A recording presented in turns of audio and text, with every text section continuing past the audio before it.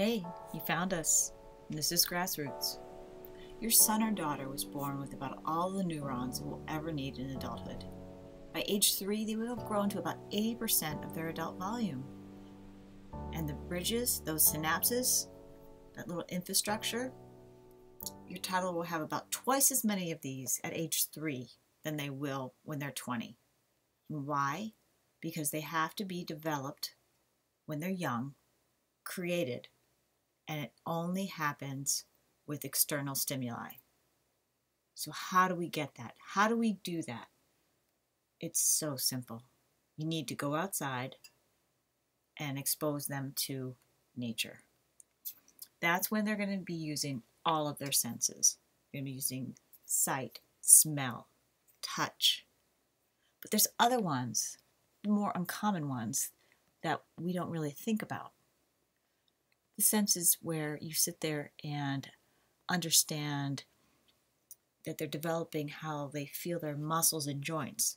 They're developing how they perceive their space, gravity, and movement. They're understanding how their organs feel and move and react to every movement. Their muscles are sitting there and developing memory. Basically, the memory is in their brain. But that is why children naturally move. They move all the time.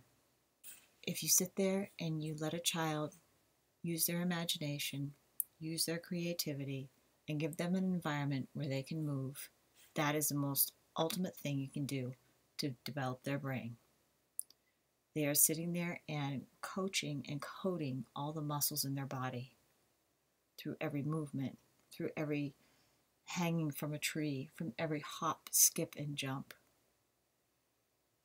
We are doing a disservice to our children if we put them in a room and put them in a chair and ask them to do sit down work.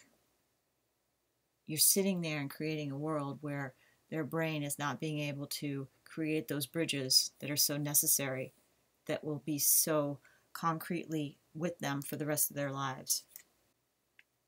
It's our duty as caregivers and parents to sit there and look at the science and understand that we have an obligation to understand the science and react to it in a common sense sort of way. So open the door, go sit on the front stoop, go sit in the grass, and let your child run, and you will not believe the outcome. That is the best gift you can give their brain. Have a great day, everybody.